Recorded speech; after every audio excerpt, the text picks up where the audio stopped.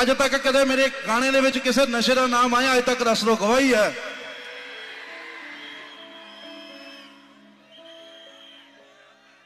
ਲੋਕ ਆਪ ਹੀ ਗਾਣੇ ਗਾ ਕੇ ਆਪ ਹੀ ਨਸ਼ਾ ਛਡਾਊ ਕੇਂਦਰ ਵਾਲੇ ਬਣ ਜਾਂਦੇ ਨੇ।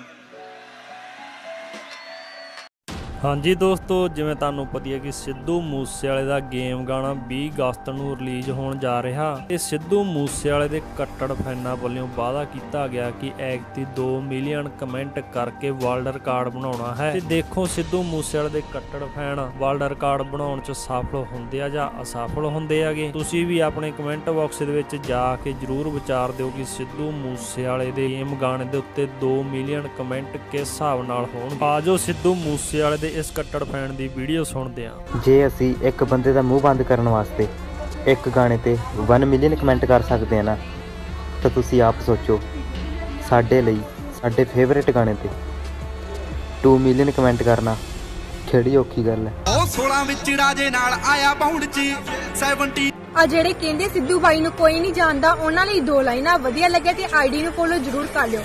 ਖਾਲੀ ਕਿਤਾਬ ਦੇ ਸਫੇ ਜਿਹਾ ਸੀ। ਹੌਲੀ ਹੌਲੀ ਨਾਮ ਪਹਿਚਾਉ ਹਰੇਕ ਤੱਕ। ਮੇਰੀ ਪਤਨ ਦੀ ਉਡੀਕ ਤੁਹਾਡਾ ਖਾਬ ਰਹਿ ਜਾਣਾ।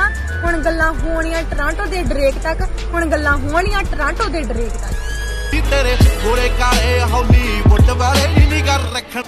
ਉਸ ਮੋੜ ਤੇ ਟੱਕਰਾਂਗੇ। ਤੂੰ ਚੜ ਹਾਥੀ ਭਾਵੇਂ ਚੜ ਕੋੜੇ ਅਸੀਂ ਲਾ ਜੋੜੇ ਤੇ ਇਥੋਂ ਵੱਧ ਡਕਾਂਗੇ ਹੀਰੋ ਤੋਂ ਮਿੱਟੀ ਬਣ ਜਾਗੇ। ਹੀਰੇ ਤੋਂ ਮਿੱਟੀ ਬਣ ਜਾਗੇ।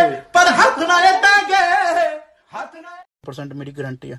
ਤੇ ਗੇਮ ਗਾਣਾ, ਜਿਹੜਾ ਸਾਰਿਆਂ ਦਾ ਫੇਵਰਿਟ ਹੈ ਗੇਮ ਗਾਣਾ ਵੀ ਉਸੇ ਚੈਨਲ ਤੇ ਆ ਰਿਹਾ ਗੇਮ ਗਾਣੇ ਨਾਲ ਹੀ ਉਹ ਚੈਨਲ ਸ਼ੁਰੂ ਕਰਾਂਗੇ ਆਪਾਂ। ਸ਼ੂਟਰ ਦਾ ਗਾਣਾ, ਮੈਂ ਤੇ ਸ਼ੂਟਰ ਬੰਬ ਬੁਲਾ ਲਾਂਗੇ ਘੈਂਟ ਘੈਂਟ ਗਾਣਾ ਪੂਰਾ।